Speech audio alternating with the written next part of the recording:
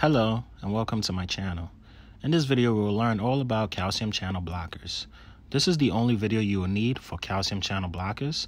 I will cover the mechanism of action, side effects, indications, and other important facts. Before I begin, I just wanted to show my appreciation to you all for the endless support. I'm so grateful to have this platform to do what I love.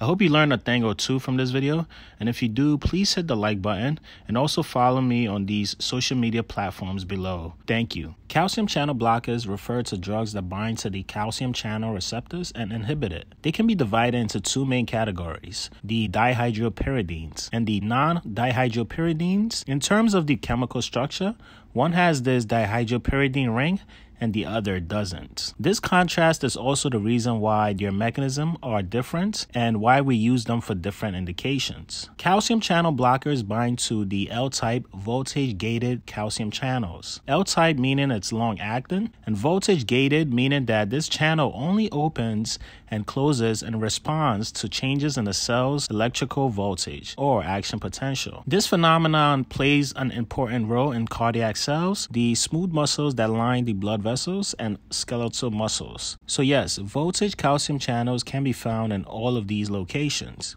So, the channel is normally closed, but when it's triggered by an action potential, it opens up and then there's an influx of calcium into the cell.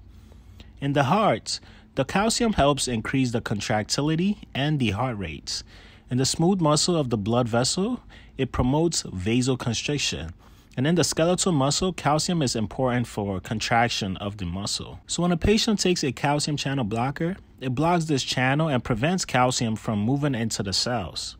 So if this is what we see in the normal circumstances, then after blocking this channel, we will get decreased contractility and heart rate, and in the blood vessels, we will have vasodilation. The skeletal muscle effect is not as important in clinical practice, so I will not focus on this. In general, calcium channel blockers follow this mechanism discussed here, but they are not all the same. Remember, previously I mentioned that there are two main categories, dihydropyridines and the non-dihydropyridines. The dihydropyridines act activity is mainly in the blood vessels, so they're known as peripheral vasodilators, while the non-dihydropyridines activity is mainly in the heart, so they slow the heart rates and contractility. Examples of the dihydropyridines are here for your information. Take note that the dihydropyridines all end in ines, just like dihydropyridine. Examples of the non-dihydropyridines are here for your information. Diltiazem specifically also has moderate vasodilatory effects effects. If the mechanism of action was clear to you, then you should be able to give me examples of some indications of calcium channel blockers. Most common ones are hypertension due to the peripheral vasodilation. So of course, the dihydropyridines are the go-to in this case. Angina, and that's because the non-dihydropyridines can reduce oxygen demand on the heart and ease the chest pain. In arrhythmias, where the rate control is the go, the non-dihydropyridines can reduce the heart rates. They are categorized as class 4 antiarrhythmic drugs. Other uses include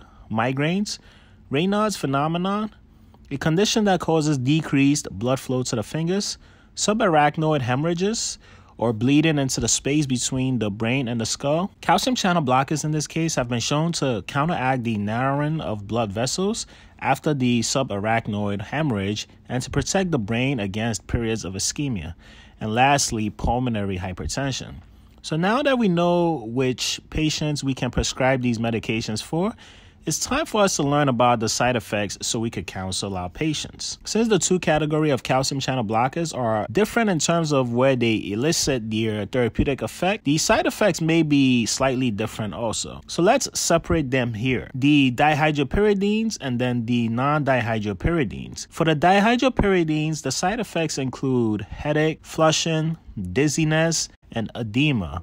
And for the non dihydropyridines, the side effects include constipation, fatigue, bradycardia, and decreased cardiac outputs. Aside from the adverse effects, there are other important information we should know as clinicians, and these are known as clinical pearls. Since calcium channel blockers are metabolized through the CYP450 enzyme pathway, there is going to be potential for drug-drug interactions. Always assess for this when verifying orders for calcium channel blockers. Also, please counsel the patient to avoid grapefruit juice, and to inform the physician or pharmacist before starting any new medications, including over the counter drugs and vitamins. Always check for the renal and hepatic dose adjustments, since some of these agents do require it. The dihydropyridine calcium channel blockers may be used to manage hypertension in pregnancy, but always do your due diligence to check for any updated information regarding use of any medication in pregnancy before you verify and dispense it. Next, calcium channel blockers may cause gingival hyperplasia, which is a condition that refers to an overgrowth of the gums. The prevalence ranges from 30 to 50% of patients who use these medications long term. The dihydropyridines tend to be more commonly associated with this complication, and there has been many suggested mechanism with one being an increase in the levels of testosterone, which promotes the hyperplasia. Please remember to counsel patients to maintain good dental hygiene while on these meds. Next, the dihydropyridine calcium channel blockers may cause reflex tachycardia, and this is due to the vasodilation that may trigger the baroreceptors in the blood vessels, which will lead to sympathetic nervous system activation. So, because of this, the dihydropyridines may be less desirable in patients who have angina. Next, when calcium channel blockers are used in hypertension, it can be used for patients who have hypertension without comorbidities